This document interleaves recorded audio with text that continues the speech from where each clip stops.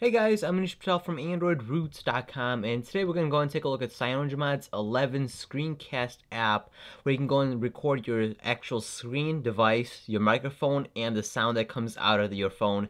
Um, so if you're playing a game and there's, you know, sound effects and all that, you actually go and record that, the voice using the microphones at the top and bottom of your device, and just the screen, you're just, just your phone screen. Um, so here's the app right here and I'm actually going to be showing you how to install at the end of the video and and I'll actually tell you some of the problems and issues I ran into personally at the end of the video too, but let, us go ahead and demonstrate this right away. Um, so here it is, I'm just going to tap on it, and you have two options to actually go and record this. One is actually tapping on the application and launching this, and just tap on uh, start screencast, or the cooler way, which is uh, kind of harder and I don't always get it the first time, is pressing the volume up and power button at the same time, kind of like uh, pressing the volume down and power to get, uh, you know, a screenshot. Volume up is um, screen screencast and video recording. Uh, so it's going to tap on, it's going to hold it down. Okay, I didn't get the first time. Let's try it again. Okay, there we go. I got it. As you can see, that little uh, video recorder did pop up at the top of the screen. And as you can see, it is recording right here. So you can go and stop it or uh, show touches too. And it gives you the video length it's been recording currently and the time, of course, when it started. Um, so let's go ahead and swipe around and just see how well it does take it. Um, this is running on my Nexus 4. Um, I tried installing my Galaxy S4, it didn't work. I'll tell you that in just a little bit about the, you know, with the issues and all that I've ran into. Um, but as you can see, there's no lag, even though while it is recording at a pretty good frame rate, I gotta say, once you do get playback. Um, so let's go ahead and pause it or actually just stop it and let's go ahead and see the options. So you can go tap on share and you have all these options. Of course, if you had Facebook, Twitter, or anything like that installed, you can go in ahead and select that too.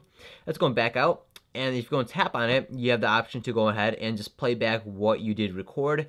Um, so we'll just use a standard video player to go ahead and try it out. And as you can see, uh, maybe, uh, let me go and uh, adjust the microphone actually, and let's go ahead and listen to it. So let me go and adjust that microphone, and let's go and see it up.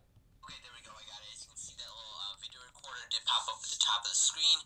And as you can see, it is recording right here, so you can go and stop it, or uh, show touches too and it gives you the video length it's been recording currently and the time of course when it started.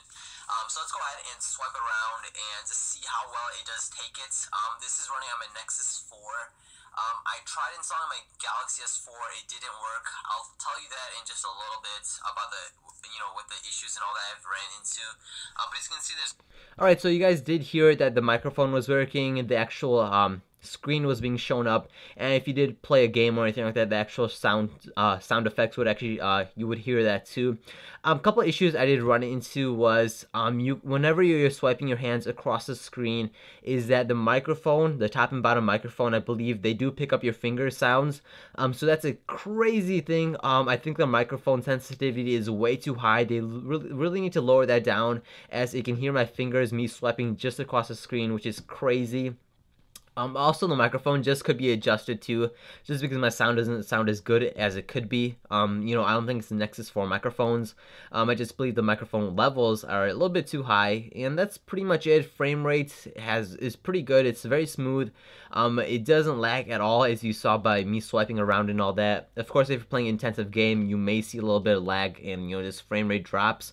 But overall, when I was showing you the quick demonstration, it worked just fine right there. Um, also, another issue I had was I actually tried installing it on my um, Galaxy S4. Now, it did install, and yes, I am running on CyanogenMod 11 on my Galaxy S4. Now, it actually did install, but after I finished recording a clip or my screen, um, I tried playing it back, but it didn't work. It said file could not be played back.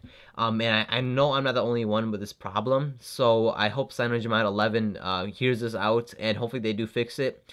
Um, this problem was a big problem since they first ever released it, so hopefully they do fix it.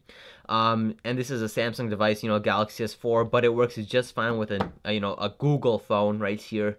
Um, so maybe it's only working on a Google phone. Um, you know, I really don't know, but hopefully they do fix that problem so it works with all devices um, as long as they're running on CyanogenMod 11. Um, so let's go ahead and show you how to install it. So first thing is we need to go ahead and go into settings, go all the way down to security right here, and then make sure unknown sources is checkmarked. And then once you're done with this, go ahead and download this one APK. Um, it's going to cancel that. Um, so right here, here's the APK that you need to go and download and transfer to your phone. So this is the com.cyanogenmod.screencast APK right here. Um, so I'll have a link down below where you can go and download this APK for your device. Um, let me go and raise up that brightness. Looked a bit a little dark in the background. Um, right there. Um, so just go and download this link down below. Uh, download directly to your phone or transfer to your phone, and just tap on it. Uh, tap on install. It'll go and install. Then you can go and tap on open it, and then you can go and record it. Um, one requirement is that you need to be running on CyanogenMod 11 nightlies or above. It could be stable or anything like that uh, to, in order to get Screencast working. Um, it's not going to work on just any random custom ROM or if you just root it or anything like that, even though this doesn't require roots. Um, it's only going to work if you're running on CyanogenMod 11 or above because they have these special, um, I believe they said binaries, um, I can't recall, but it has some special stuff in there that actually makes it work, so it's not going to work with any ROM. Trust me, I tried it. Um, but that's a quick look, guys, at Screencast video recording for your Android device. As long as you're running on CyanogenMod 11 or above, you really, hopefully, you shouldn't run into any problems like I did with my Galaxy S4. Um, but if you guys enjoyed this video review, be sure to like and subscribe in the bottom left-hand corner right there. Link down below for the APK you can go and install it for your Android device. And don't forget to follow me on Twitter and my other social networks. Links are down below. Thanks for watching, guys. I'll catch you later. Peace.